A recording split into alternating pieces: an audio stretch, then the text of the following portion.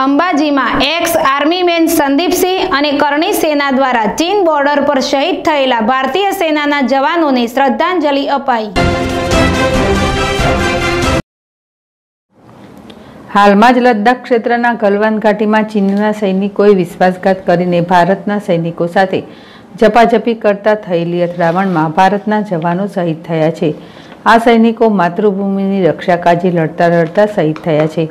યાત્રાધામ અંબાજીમાં કરણી સેના અને એક્સ આર્મીમેન સંદીપસિંહ દ્વારા આ શહીદ થયેલા જવાનોને મીણબત્તી પ્રગટાવી શ્રદ્ધાંજલિ આપવામાં આવી હતી. અંબાજીના ડીકે સર્કલ પર રાતના આઠત્રીસ વાગે અંબાજી કરણી સેનાના પ્રમુખ અને એક્સ આર્મીમેન સંદીપસિંહ તેમજ તેમના કાર્યકર્તાઓ ભેગા થઈને મીણબત્તી પ્રગટાવીને શહીદોને શ્રદ્ધાંજલિ આપી હતી.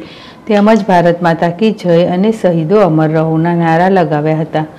શહીદ થયેલા જવાનોના પરિવારને મા અંબા દુઃખ સહન કરવાની શક્તિ આપી તે પ્રાર્થના કરી હતી.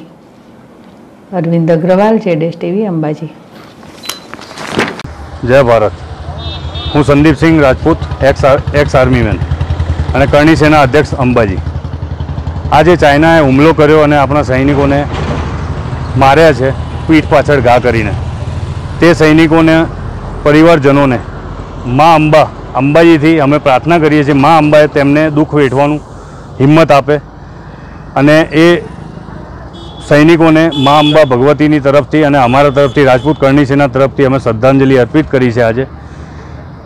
અને જે મોદી સાહેબે અમને દેશને વિશ્વાસ આપ્યો છે, એમના ઉપર અમને અને એમના ઘરવાળાને પણ પૂરેપૂરો વિશ્વાસ હોવો જોઈએ, બદલો લેવામાં જરૂર આવશે. જય હિન્દ, જય ભારત.